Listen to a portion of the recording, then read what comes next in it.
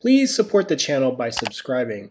It helps immensely. And don't forget to hit the notification bell for our new videos. Thank you in advance. Since the beginning of this channel, I have been trying to get the best and most cost-effective power station out in the market. With this being on sale and a donation from a friend, I actually bought this EcoFlow River. So this is going to be the unboxing.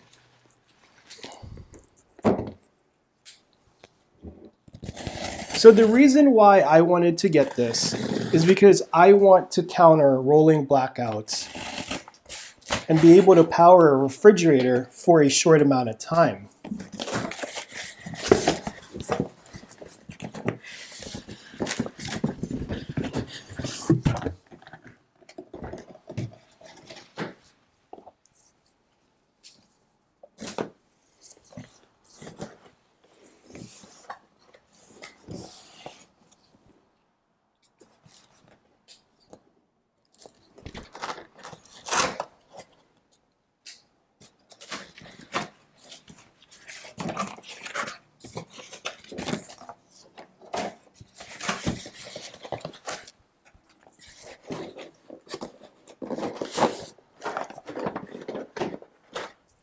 From the packaging alone, this is quality.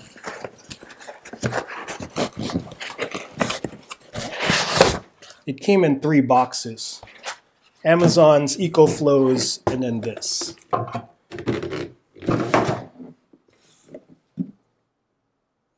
So just like everything that I, I've done here, I usually try my best not to look at the specs so it's a surprise for me. So you get the power station,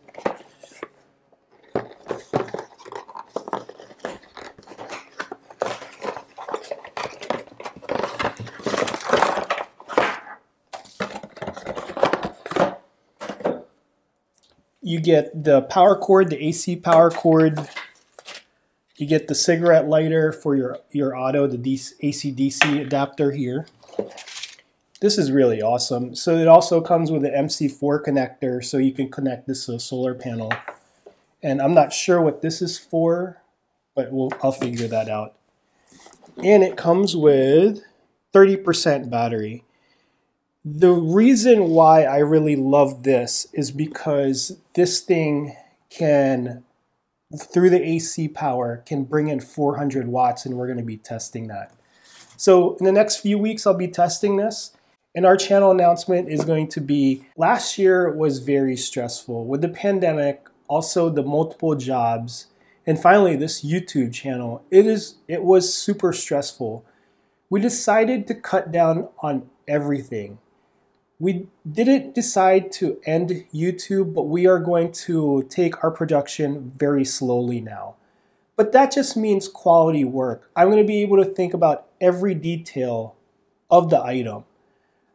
The next videos that are going to come out are going to be videos that I truly love, like Kelly Kettle. I use this thing like no tomorrow on our vacations and is a good quality piece of gear. So it's all going to be awesome from my standpoint.